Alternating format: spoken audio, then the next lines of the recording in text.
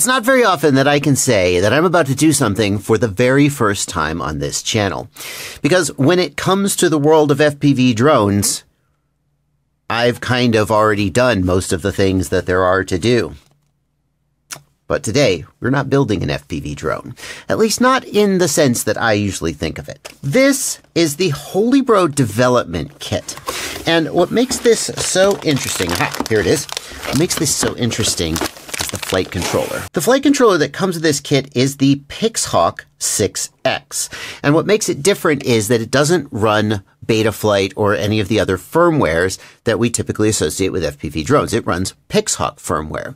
Because this kind of quadcopter can do things that FPV drones can't. Things like loiter, things like fly a GPS mission, things like fly through the air without having to be manually controlled all the freaking time. And there are a lot of commercial and industrial drones out there that need the kind of capabilities and performance that this flight controller has, that flight controllers like Betaflight that are traditionally found on FPV drones simply don't have. Oh, did I mention reliability?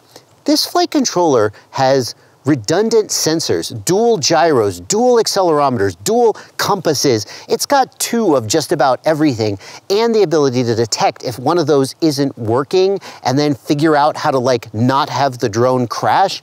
This is a whole new level of capability. And it just seems a shame that I'm completely unfamiliar with it.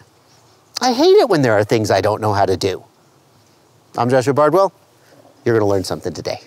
The first thing I want to say before I get into this build is that the reason I have selected the Holy Holybro development kit is that I want to spend as much time and energy as possible learning about Pixhawk and as little time and energy as possible actually building the gosh darn drone.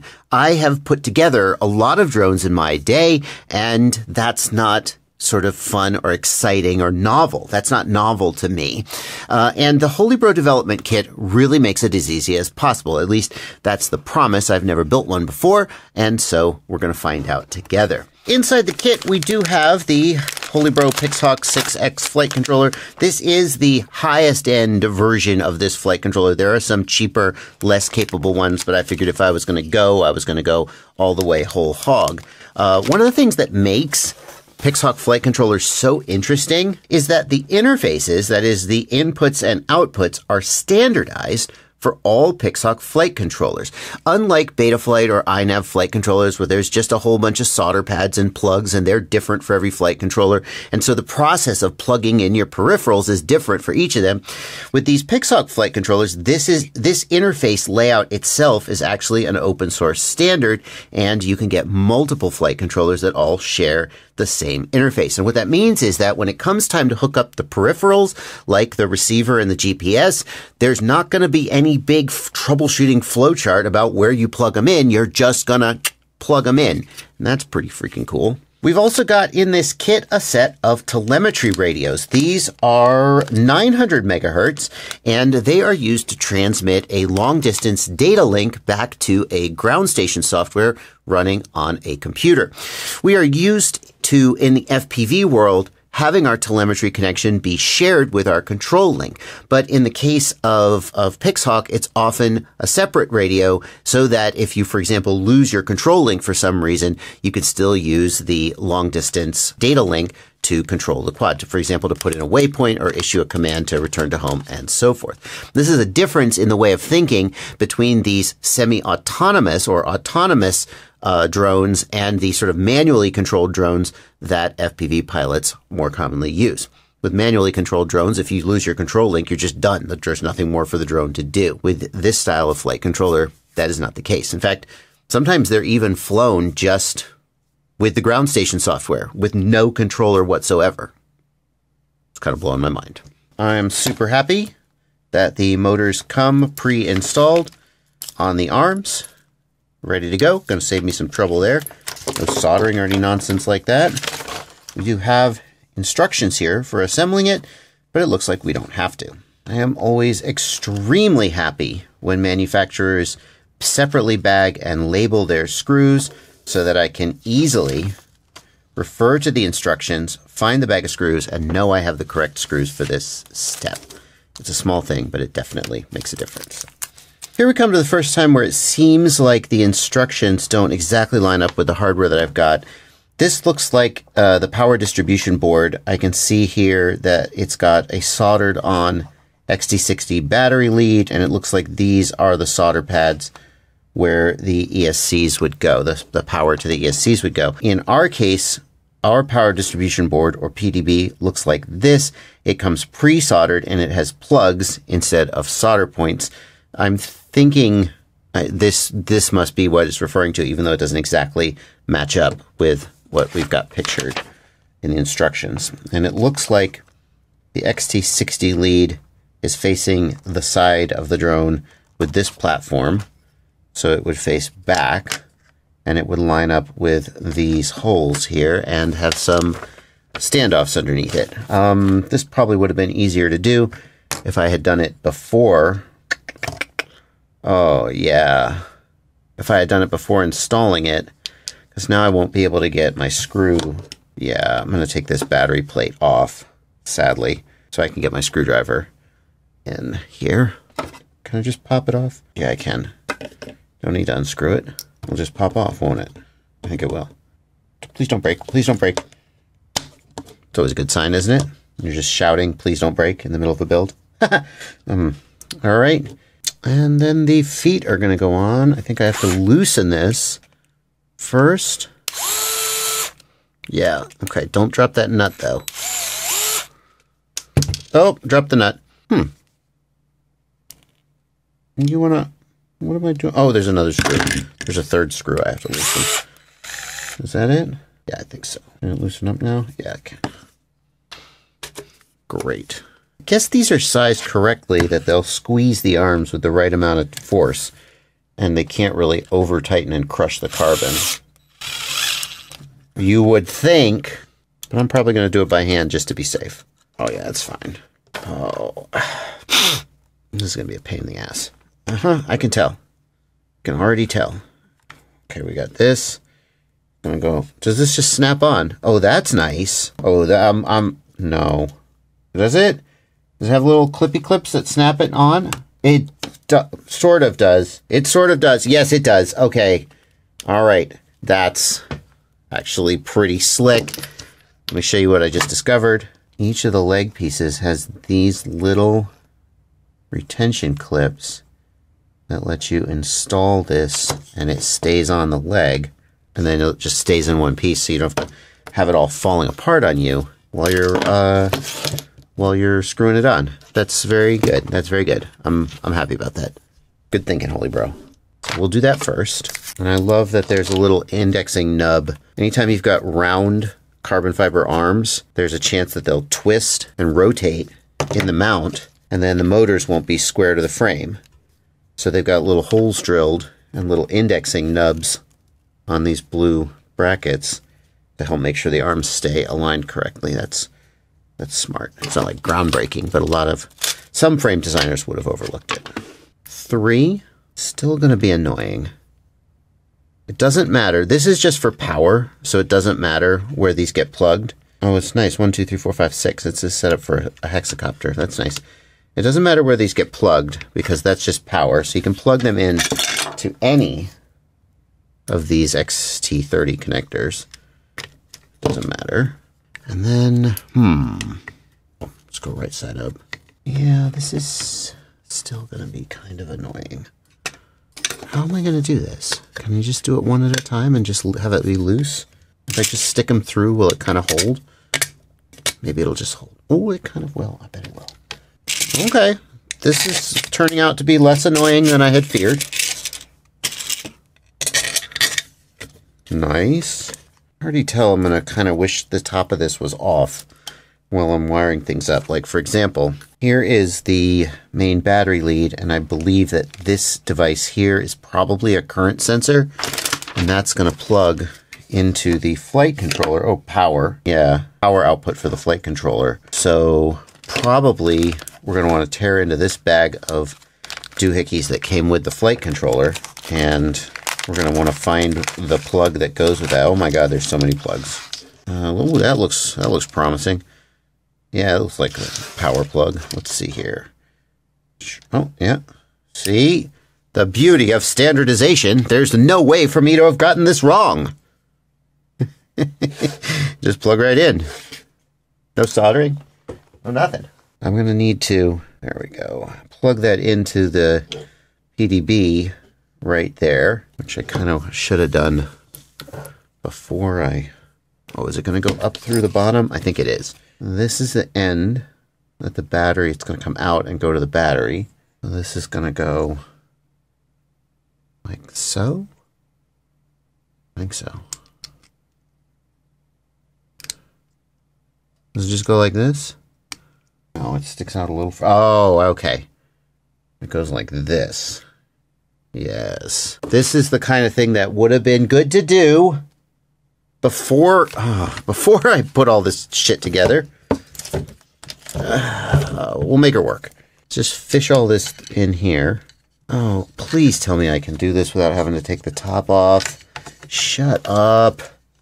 Shut up. Why would you show me to put the top plate on before? Uh, oh, it's gonna go. Ah, it's gonna go. Oh, oh, what if we? Oh, okay, I got it. What if we feed the XT60 through? Yes. What if we fish the XT60 through like this? Aha. Then install this piece. Then pull it back through. Well, that sounds like a good idea. A lot of things sound like a good idea until you find out they're stupid. Now, haha. now I have to plug this one into the PDB. There is no way I will be able to show you video of me doing that, so you'll have to take my word for it. Okay, got it. Uh, the GPS mount. Makes sense. Does that have a nut? No, it just goes right into the plastic. Yeah, it does. Okay. So we won't over tighten and we won't strip that out. Okay. Oh, there we go. OCD person inside me wants these screws to be lined up. GPS is mounted with this 3M double-sided adhesive that comes with the kit. We'll just save that we'll mount the GPS later. It's a little, I'm a little uh, less than thrilled with that. But I guess you're not really supposed to crash this thing anyway, so you crashed it, you already done screwed up, huh? And we're going to mount this like so with the remaining M3 screws and M3 lock nuts. Ha! The frame's built! Ta-da! That took uh, 1 hour 15 minutes is how long I've been recording. So I've heard people say you can build it in as little as 20 minutes. Well, maybe that's true for them. The next thing I got to do is figure out to the whole the flight controller. There's uh, there's no instructions for that part. I'll have to figure that out. I guess the first thing I'm going to do is take this here old piece of VHB tape that came with the flight controller and stick the flight controller onto the plate, the frame plate, or the top plate. Uh, is there a front facing arrow? There is a front facing arrow, so presumably that needs to face the front. We'll get that nice and lined up. Good and square. Have I installed? Oh, I installed this plate wrong. This plate's supposed to be rotated this direction. It's not going to matter because we're not screwing our flight controller down. If we were screwing our flight controller down, then we would need to have rotated this plate so it faces the correct direction. But we're just going to tape it down. And that ain't going, that ain't going nowhere. That ain't going nowhere. That VHB tape will hold till kingdom come. Stands to reason that this guy is going to go in power one. Oh, those would be great to pass these wires through. But I'm not taking 16 dang screws out for this nonsense. I am not doing it. I am not doing it. I'm not doing it. I'm just not doing it. FMU PWM out. Is that the motors? Or is it IOPWM out? I don't know. I will have to look it up. I don't want to look up instructions. I just want to know how to do everything already. Learning is lame. Can I go like this? At the side? Oh, yeah, that's good. Could I have done that with this thing? Probably could have. Let's try it. Ooh. Oh, yeah. Oh, yeah. Oh, see? Just, I'm going to make sure that the fact that I mounted this board side uh, plate sideways is Not gonna come back and bite me. You see, kids, the reason I prefer to mount this top plate cocked 90 degrees sideways, it gives you the flexibility to come in from either side. And in my experience, uh, that is uh, that flexibility opens up some possibilities for wire routing that uh, is, is better. Bullshit. Okay. Uh, good. We got the GPS. Uh, wow, I'm nearly. What is this nonsense? Oh, that's the radio. Yeah, I gotta figure out where to put that. GPS. It's gonna go forward facing. Okay, no problem. Okay. And let's see if there's a label for the GPS. GPS 1. Great. Well, that's what I assume this is going to be. GPS 1. Oh my god. No soldering, no looking up wiring diagrams. Just click, done. Now I feel like I might oughta like zip tie this. Maybe not. Pixhawk 6X where to plug motors. Motors and servos are connected to the IO PWM out main and FMU PWM out aux ports. IO PWM out main. IO PWM out. There we go. It's labeled right there. And therefore, we're going to go one. Ooh, let's see. Oh, it's marked on the side. Okay. My long ago days when I worked with servos, I mean, it's labeled right here minus, plus, and S. Uh, minus is ground, and it's going to go on bottom. S is on top. We're just going to go like so minus on, so black on bottom, white on top. M1, M2. Next up, the telemetry radio. There is no indication in the instructions on where to put it. It comes with a piece of 3M sticky. This is a USB adapter, for, presumably for your computer. And we've got the radio, telemetry radio. And I don't think it matters. They're already paired up, and I don't think it matters which one goes on the computer and which one goes on the, yeah, they're identical. So clearly this side has the, uh, the GX connector, I think it is, with the locking plug. There's only one way to do that. And then where does it go on the Pixhawk 6X telemetry radio plug? Holybro Pixhawk 6X wiring quick start. Oh, that's convenient. Telemetry radio goes to Telem 1, but that's not the right plug. Oh, they're not identical. I see. This one has two of the GX connectors. I had the wrong cable. Telem 1 and boom. Love it. We're going to put this. I guess it doesn't matter. Just put it anywhere. Maybe it does matter. I have no idea. I'm so out of my depth. I love it. it's been a long time since I've felt this completely out of my depth. Hey there, folks. It's Joshua from the future. I have just spent an hour trying to figure out how to get a Express LRS receiver working with this flight controller. And I'm going to tell you where I've come to, but I'm also going to tell you a deeper insight that I think is important that we keep in mind, that I keep in mind for sure. First, I discovered that there's two firmwares that this flight controller can run. One is Pixhawk or PX4, but that's also the name for a flight controller. Anyway, and the other is ArduPilot. And when you're looking at documentation for how to do things, they don't have the same feature set. The ArduPilot documentation doesn't uh, apply directly to Pixhawk. So the first thing I learned was that Pixhawk doesn't support Crossfire. Just so all the documentation I was finding that said, oh, here's how you get Crossfire working on this flight controller only works if you're running ArduPilot. So then I flashed ArduPilot and I came to this other insight, which is that ArduPilot technically does support Crossfire and Express LRS, but it's a giant pain in the ass and I couldn't get it working, even though I followed all the instructions I could think of how to follow. And in the end, here's what I did. I wired up the receiver to a standard servo plug and we're going to use S-Bus, which is what the flight controller expects you to be doing. And the deeper lesson is this. When you show up and you're the new guy in town and you don't know the sort of norms and standards when in Rome, do as the Romans do, as they say.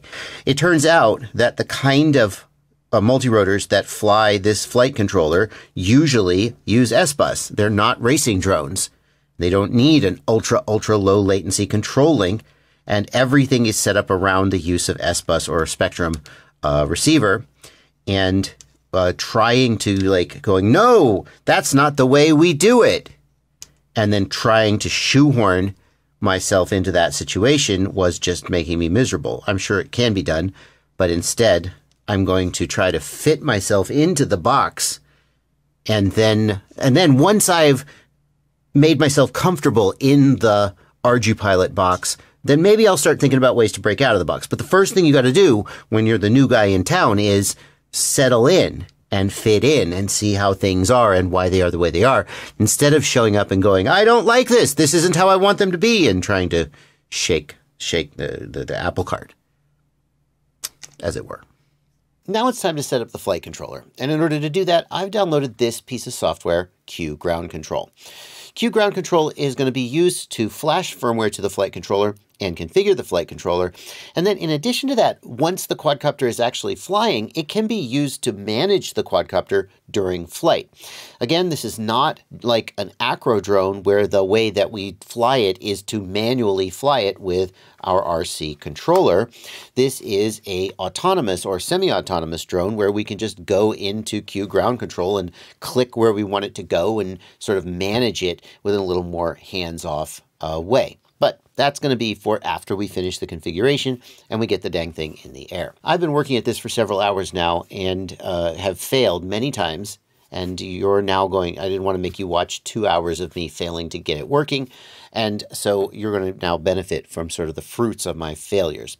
And the first thing I ended up doing was changing the firmware on the flight controller. So this piece of hardware is known as the a Pixhawk 6X flight controller, and it runs a piece of firmware called PX4. But PX4 can also be hardware, and there's another firmware out there called ArduPilot that also runs on this hardware that I have decided is right for me to use. And the reason for that is that in general, ArduPilot seems to have more documentation, more tutorials out there for it than PX4. So every time I was searching for, well, how do I do this or how do I do that, I came across an ArduPilot tutorial. And then I ended up asking MadsTech, Ian Lewis, for help with something. And he also uses ArduPilot. And so I'm just like, okay, I see which way the wind is blowing. So the very first thing we're going to do is we are going to actually unplug USB and we are going to go to the firmware update page in Q Ground Control, and then we're going to plug in USB, and that is how we initiate a firmware update. And we're going to choose ArduPilot and multi-rotor, and the board type is going to be Pixhawk 6X. And then we're going to hit OK, and it's going to flash the firmware. So in order to confirm that you've got the same firmware version as me, you're going to go to the Summary tab in Q Ground Control and look, and you should see firmware version 443. But everything else is completely unconfigured. So let's get started. And the first thing I'm going to do is go to the Frame uh, tab, and we're going to click and tell it that we have a quadcopter here, and the frame type is X. That's correct. That is the motor layout and frame type that we've got. There is no save button. These changes just seem to take effect as soon as you make them. So don't worry about that. Although some, as you may have seen in that message, some of these changes will require a reboot in order for uh, them to actually take effect. Next, we're going to go to the radio tab and we're going to hope that we've got movement of our sticks as I move my sticks we should see the channels and joysticks moving. Um, you probably don't. Uh, and the reason for that is if you're doing Express LRS like I am, or if you're doing Crossfire, you need to go into the Express LRS or the Crossfire Lua script and configure the receiver to output S-Bus instead of the Crossfire protocol that it normally does. In order to get your Express LRS receiver to output S-Bus, we're going to go into the Express LRS Lua script. We're going to need the receiver turned on and bound. And if we do that, down here at the bottom, we can find other devices. And sure enough, right there is our receiver. Then we'll go into the receiver options. And right here at the top, we have the protocol option. And we can click and we can change that to S-Bus. And that will cause our receiver to output S-Bus on the TX pin and make it work with the uh, Pixhawk flight controller. Oh, incidentally, I think you might need to be on ExpressLRS 330 uh, it used to be that this option didn't exist. So if you don't see that option there, you may be on too old of a version of Express LRS. Just go check and see if it's there. And if it's not, you may need to update your firmware. But you can see here, I do in fact have movement. And the next thing I'm going to do is calibrate. Okay. And we're going to go through these steps. Lower the throttle stick all the way down and we'll hit next. Move the throttle stick all the way up. The next thing we're going to do is go to the Sensors tab and calibrate some of the sensors on the flight controller. And you can see some of these are marked as red, indicating they need to be calibrated. So we'll start with the accelerometer. Yep, that's correct. We will start with hold still the current rotation, press next when ready. Okay, great. Uh, where is next? There it is. Next. Okay. And we want to be nose out and on the right side. I'll try and hold this as close to 90 degrees as I can. Next, nose out and on the left side, or the right side actually, left side, like it shows in the picture. Okay, going back to the sensors here, we can't calibrate the compass here inside on the desk, so we're going to have to skip that one. And everything else seems good to go. Next, let's go to the Flight Modes tab and set up our switches, basically. Uh, and there are two main switches that it seems like the flight controller wants us to set up. One of them is the flight mode, which is things like acro, you know, stabilized mode, GPS assist, loiter, etc. And we can see here that we can have up to six flight modes, but I think I'm going to keep things simple and just have three of them, one, two, three, because I've got a three position switch. That's a two position switch, three position switch right here. Um, and it wants the flight mode to be on channel five. You'll see here that I've got my flight mode channel set as channel 6, whereas the default is channel 5. And the reason for that is that I'm using Express LRS, and Express LRS forces channel 5 to be a two-position switch, which must be used for arming and arming must be high and disarm must be low. That is a mandatory requirement when using Express LRS. There, they have reasons for that. We're not going to go into them right now. So we can't use channel 5 as our flight mode channel. We have to use something else. So I've set it to channel 6. And if we look here, as I move channel 6, we can see, look, notice that flight mode 1 is yellow. I can see I've got it set for stabilize, position hold, and loiter. I don't know, I may tweak that. Uh, you'll also notice I'm not using flight modes 2 and 5 and 3 because I would just have a three position switch and it's easy to use. I could always use something else if I wanted more. I've also got channel 7's option as return to launch. Uh, and I've got that set up on switch SD right here. So at any time I pull that switch and I think it'll override the flight mode and force a return to home. I don't know. That's how I felt like setting it up. Uh, the last thing we need to do is we need to set channel 5 to be the arm disarm channel. And in order to do that, we can't do that here. We have to go to parameters and manually, I believe if I type RC5 here, yes, we can see RC5 option is set to unknown. It should just be arm, arm disarm. Why is it unknown? That's weird. Save. That's weird. It was working too. Anyway, we want RC5 option set to arm disarm, and that will give us arming on, let's see here. What about this telemetry radio? We're to get this telemetry radio working. So we'll get this other telemetry radio here, and do we just unplug the USB here from the, there we go. Oh, now it's not powered up. I need to power it up. We'll plug this one in and think this should just work. We've got a blinking green LED here. I'm going to guess that's going to go solid when they link up. There we go. Solid. It's talking. Do we need to... Oh, look at that. SiK radio on COM3 Auto Connect. Communication lost. Can we communicate? Oh my gosh. I think it's working. Is it working? Like, if I move the quad, does the compass... move? It does! USB! I will never USB again! Okay. Well, this is the first time I've truly been impressed with this stupid thing. um, let's see here. The radio's working. That just automatically worked. Fantastic. Now that we've finished building and configuring the quadcopter, the only thing to do is give it a test flight. And I cannot wait to find out how good this freaking thing is compared to something like a DJI drone, which has many of the same capabilities, if not more. we'll go ahead and plug, wait, con the controller needs to be on first. Is it on? It is on.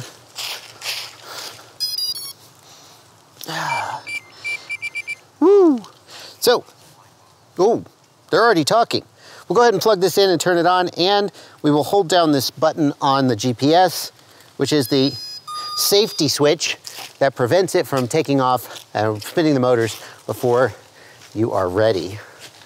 And we can see that the computer has already picked up on the drone. Uh, we're running the QGroundControl software here, and we've got this 900 megahertz radio here, uh, which is passing the connection through. Just automatically picked it up and ready to fly. We are ready to go. Except that's because we're in stabilize mode. There we go. Now we're starting to get some GPS satellites. We'll be ready to fly even in GPS assisted mode. Loiter flight mode. Yeah, see if I switch to loiter flight mode, it says not ready. Um, because we don't have enough GPS locks yet. But in stabilized mode, we could take off. Um, so let's give it a try. Let's, uh, let's go ahead and take off in stabilized mode and see how well it flies. Oh, motors are spinning. Let's raise the throttle and start to lift off. Oh, it's getting light. Why is it tipping like, okay, there we go. That's not great. Oh, there we go. We're hovering, boys. We're drifting a little because of the wind, but we are hovering. We have a maiden. And if I sit her down and lower the throttle, will it automatically disarm? No. I'll disarm it manually. Whew. Okay. Okay. Well, it seems like the accelerometer could use a little bit of calibration because it kind of tipped like that, but no big deal let's, uh, let's do something that we can't do with a Betaflight flight flight controller. Let's put it into... Acro flight mode. No, not acro. Loiter mode. Loiter flight mode. Loiter mode means that it is going to try to hold position exactly precisely. And it's only got a GPS that it can use to do that. It doesn't have things like an optical flow sensor, which is what DJI uses to uh, be like super locked in when it's close to the ground or inside. Uh, Pixhawk does support optical flow sensors. I just haven't put one on this drone. Let's see how well it hovers. All right, we're gonna lift her straight off. Uh, oh, I see, I see. We are no longer in direct control of the motors. At 50% throttle, it just kind of stays where it is. If I raise the throttle, it'll start to climb. Oh God, it is drifting. Why is it drifting like that? That's not good. It's all over the place. Come on, do better. There, it's still drifting. Come back. Come back, baby. Don't climb, descend a little. Okay, now stay in place, stay, hover, hover. It's descending. It's getting a little close to the ground. Let's see if we can get it to climb. Climb a little. Okay, there we go. It's really drifting. Come on, figure it out. Figure it out. You're drifting. Figure it out. You got 18 satellites. Why are you drifting? Get back there. Okay, I'm doing that. I'm doing that.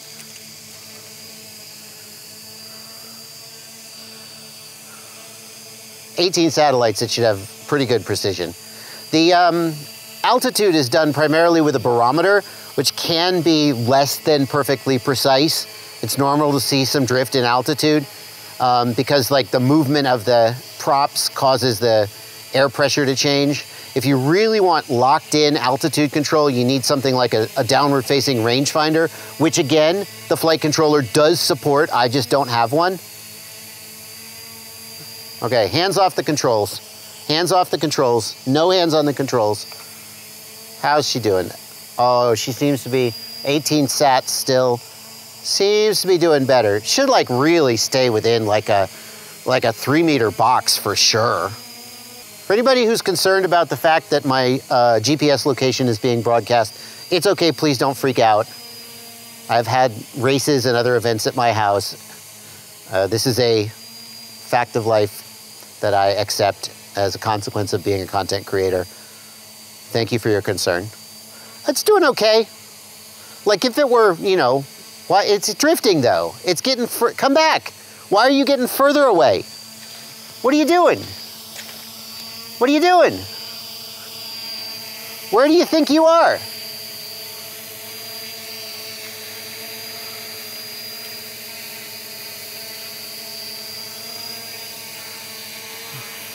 I mean, it's not bad. It's doing okay.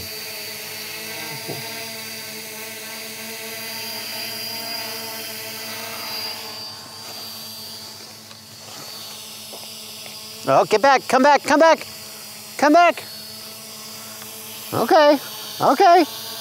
You know what's even cooler is that I can actually completely configure this flight controller. If I go in here, I can configure this flight controller in its entirety Battery fail safe. through this wireless link. This is a full connection, everything on the flight controller. I don't need to plug in USB like ever again, as long as I have this radio. Can you flash over this? I'm not sure if you can flash. Maybe you can even flash. Wouldn't put it past him. You know, normally when I build a quadcopter, it's because I'm excited to fly it. High performance racing and freestyle drones that you can tear around the sky. This isn't that. This is a tool for getting a job done. And in a way, the experience of finally maidening it was a little bit underwhelming. It just kind of sat there and waited for me to tell it what to do. And that's something you got to keep in mind if you're thinking about building a platform like this. The reason to get this development kit and build a platform like this is because you want to get more familiar with the kind of tools that people building large industrial drones, some Cinelifters and so forth, you want to get familiar with the flight controller that is almost universally used on those great big drones. If you've got a small 10 or maybe even a 13 inch Cinelifter and you want high performance out of it, you're probably going to use a Betaflight flight controller.